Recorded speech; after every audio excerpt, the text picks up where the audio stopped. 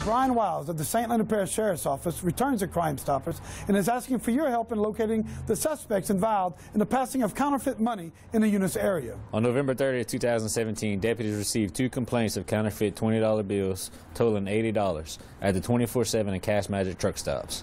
Then on December 5, 2017, the Cash Magic received an additional $120 in counterfeit money.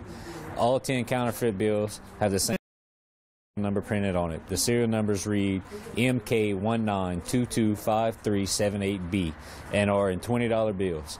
Area merchants are urged to pay closer attention to cash and marked bills as they are coming into their stores. Download our P3 app and tap the app on your mobile device to submit your anonymous tips.